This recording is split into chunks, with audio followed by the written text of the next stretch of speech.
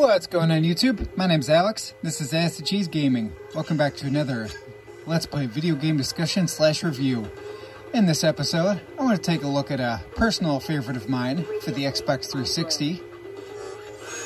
Yep, you guessed it, Blur, which was developed by Bizarre Creations and published by Activision, with a May 2010 release date.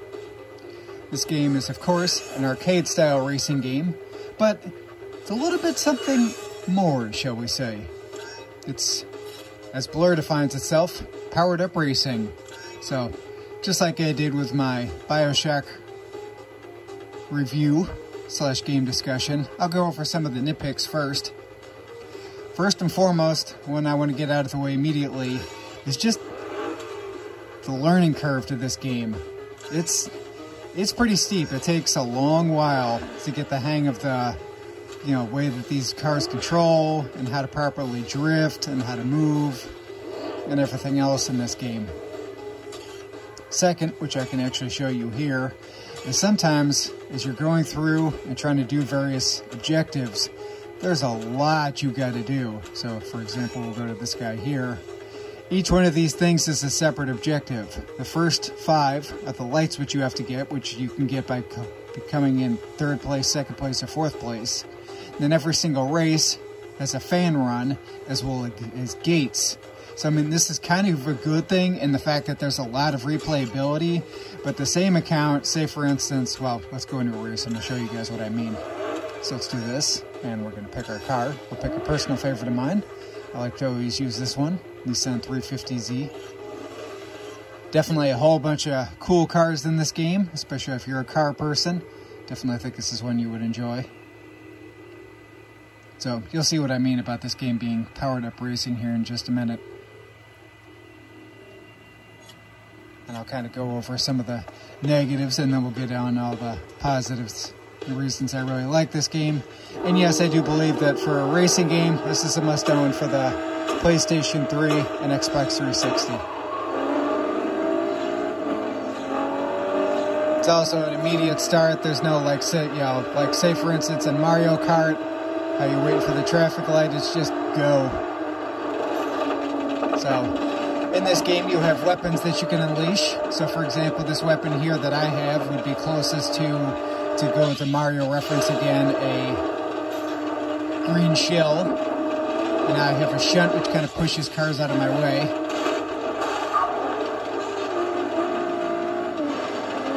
As you can see, there's, there is a bit of a learning curve. Landmine, which I can go forward or backwards. So I'll just throw that in front of me. So this actually takes me to one of the other negatives that I wanted to get into, which is just, you know, how tough this game is. Even on the lower difficulties, this game is just brutal. I mean, the computer AI is just downright unforgiving. I mean, I've been racing for what, maybe half a lap so far, and I'm only in 16th place. And it's, you know, near as I could tell, I haven't necessarily messed up in any major way. We're going to get the lightning bolt. Okay, so here's what I was talking about the fan runs. So let's go through that. So you have these gates that you have to pass through. And pretty much every single race, you have these. The issue is that if you get hit by an item like that, and I use that way too late, or maybe someone hits you with an item or pushes you out of the way, you can easily lose and not get through these gates in time which then means you have to go through and try it again and try it again and try it again, and it can just become an absolute, you know, pain in the tail. So sometimes having to sit here and keep redoing just to complete an objective in a race can be kind of tiresome. Oh my god, buddy, get out of my way. Of course he did. He got my item. I wanted that item. Will say that the addition of all the objectives in the race does add a ton of replayability. I mean, there's always something to do. There's plenty of areas in this game to play in. So it's like, you know, when it comes to a racing game, it almost feels like there's some, you know, sometimes too much in this game. I?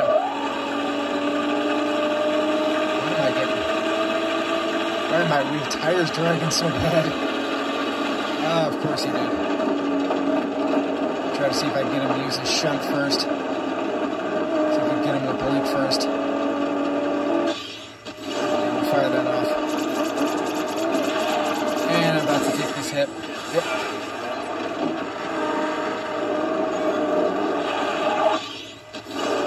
Wow, that went nowhere. Yay, we're healed.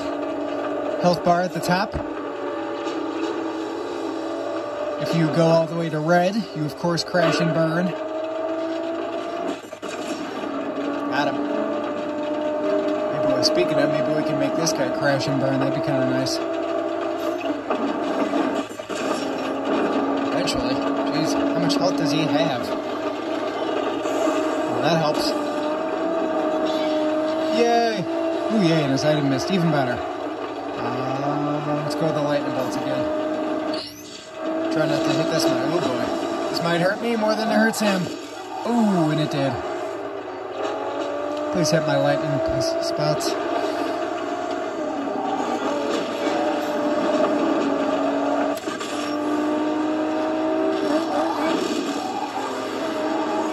So yeah, like I said, the computer is just absolutely unforgiving. I made one little mistake and I almost ended up in third place. So the difficulty in this game can be a little bit much at times. Buddy, would you launch your lightning, please? Uh, let's get the shunt, just in case he gets ahead of me. I.e. red shell. Counter it with a counter shunt with a shunt. You can also do that as well. You can counter items with an item, just like you can in most, you know, kart-style racing games. Feels like with this game, they were trying to kind of meld a kart-style racing game with an arcade-style racing game and overall, I feel that they did a very good job. I really have no complaints about anything in the game. Major complaints, I will, I should say.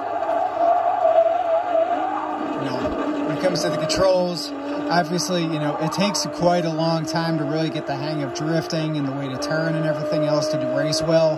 But, you know, the cars do control very solid. It's definitely one to fit everybody's playstyle. So was just one race right there. And there's a whole bunch of different race modes. So speaking of this game's currency, which you can unlock, you know, different cars and stuff is fan status. So let's go to a different event here. Okay, we'll do a destruction one next. Why not? We'll pick a different car.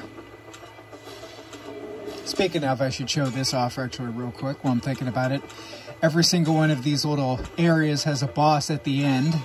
So when you go through you clear all these, then you get to face the boss at the end. If you beat the boss, then you get their special modifications. So, for example, the first one is you get the overbolt.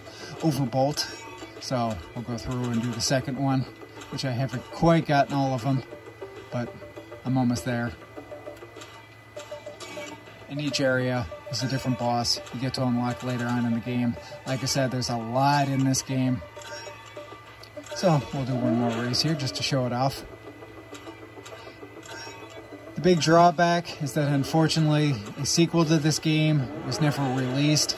It's kind of sad as that is. Eh, sure, we'll choose this one. And this game is, you know, dare I call it a hidden gem? You know, please don't cancel me, Metal Jesus, to borrow his, you know, their term.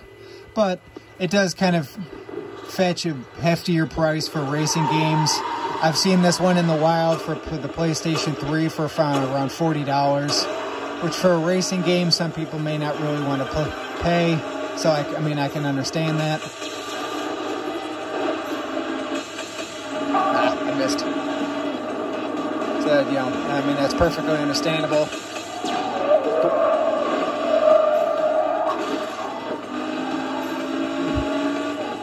definitely want to choose a Nice, good drifting car for this next race. Good. We're to need lots of these. Going to start bolting some cars. Another fan duel race we got to go through. Pass all these gates. This one's not too bad. This is called destruction mode. Is just as it sounds. Just try to wreck as many cars as you can. The more cars you wreck, the faster you go.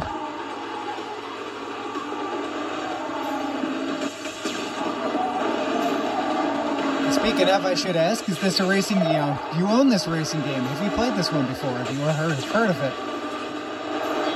Personally, it's one that I've had in my collection for a long, long while. Oop, I got that one reflected back at me.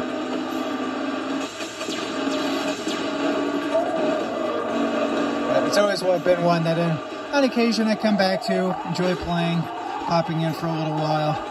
Maybe someday I'll get much, much further into the game. It's just so many, uh, like so many other people, so many racing games to play, so little time. Seems like there's always another game in my collection I'm trying to work on. Oh, that's unfortunate. Ooh, how do we do? Hey, all right. Yay, we got it. 101 points. All right, cool. Hey, we did better than my previous. All right, all right, all right, cool. All right, everyone. Hope you enjoyed the style review. A little bit more of a deep dive than just my quick. If you do, comment below. If you, especially if you made it this far, give me a car emoji in the chat. Thank you so much for watching. If you're brand new, please subscribe. Until next time.